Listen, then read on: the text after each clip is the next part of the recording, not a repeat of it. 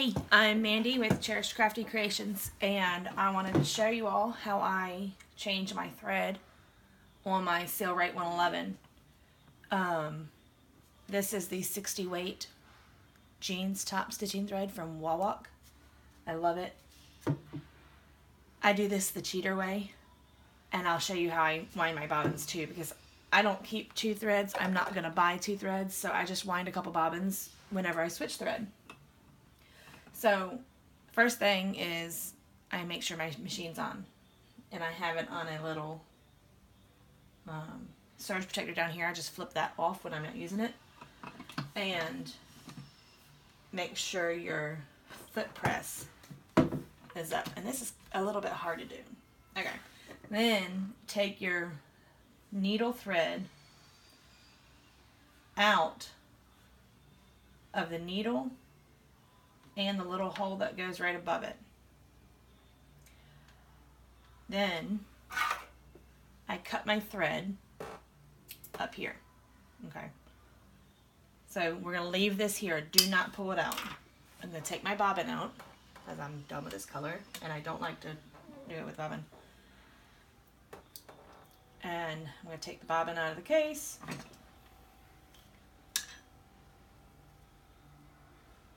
And then I have this nifty little bobbin holder here.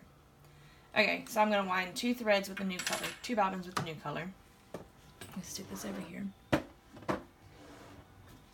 And I'm going to use, this is the royal blue. Take this thread down. And it can go back up in its spot. Put this one here. And this is the thread it came with. I mean, you can, there's a big difference. This is, the, I think, the bonded nylon. It's probably like a Tex 80 or something like that. It's really thick. And I do move this bar so that I can see since I have it against a wall. And I just go from back to front. I don't know how you're, it may not be how you're supposed to do it. I don't really think it matters. And then there's this little hole right here for the bobbin winding. Go through that around your tension disc. This one's a little tricky to get it around. So what I like to do is feed it around.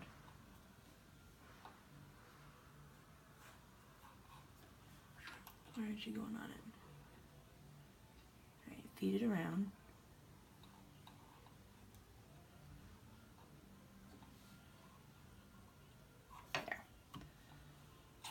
And make sure you pull it. So hold this hand and then set it in that tension. Then I'm going to stick this through one of the holes, just pick a hole, and I do it on the outside. And push that on. If that's too loose or too tight, you can adjust that. Just pinch it if it's too tight. Push that forward. I like to hold this thread so that it doesn't just go crazy because that will move, right? And then. It'll pop off.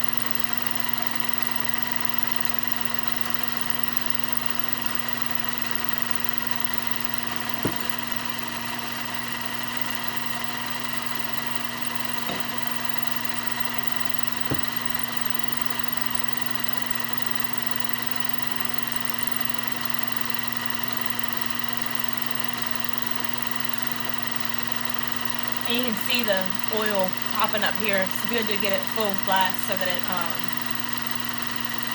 will make sure it's oiled nicely. And then it pops when it's done.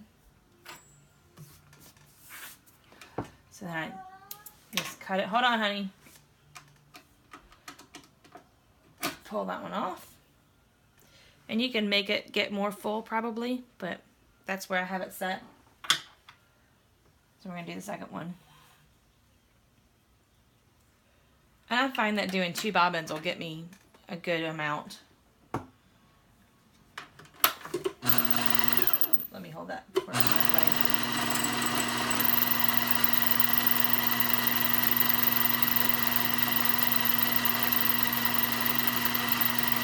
Got a little squeaking going on. I might need to put a little bit of oil in there.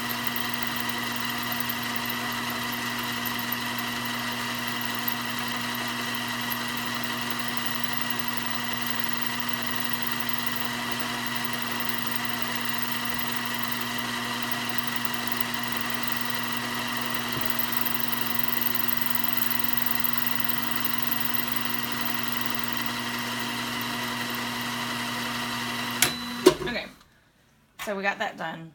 Just flip it, pull that off, and I'm gonna, here's my little oiler. I'm gonna stick just a dab of oil in it.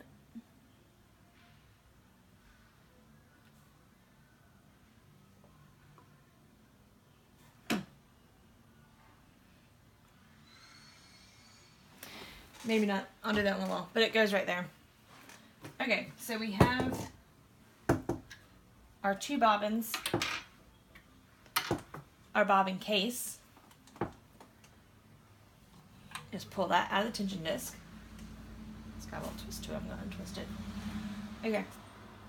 Take your two pieces, your last one and your new one. Do not pull it out. You don't want it coming out through. So, take them and just tie them together.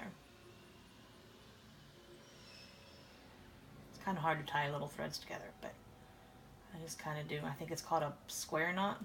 I don't know. And just tug on it to make sure it's not going to come apart too easy.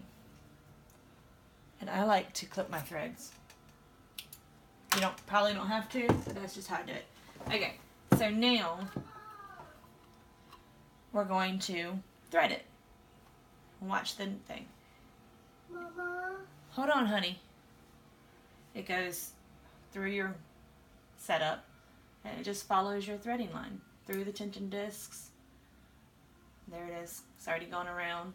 I gotta stick it, make sure you stick it in these because it does come out of those. Through that, through that, through that one. And then all that's left is our needle guide and our needle.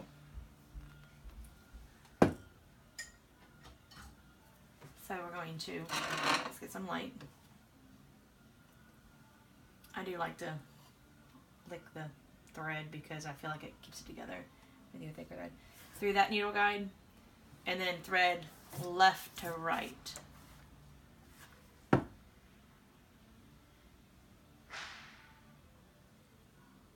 This blue is harder to see. Let's get that. Sorry if I'm in the way. There we. Then I like to I like to go ahead and stick it through the hole in your foot.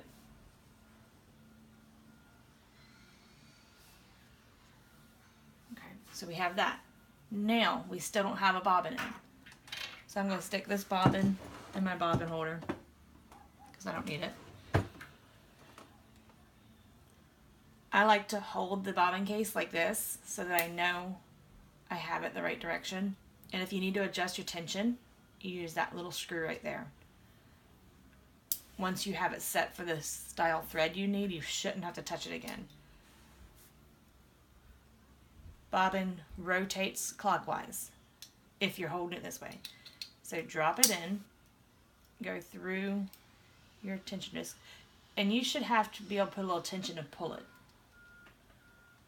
So if you hold that, it won't fall out. All right, so we're gonna stick it back in there. And it's locked in. Hold your top thread. Pick up your bottom thread.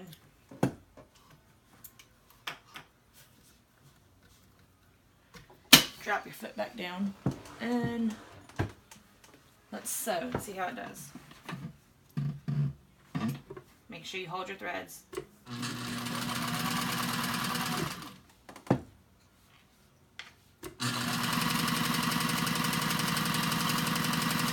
Remember, this is just regular cotton, so it's not very thick.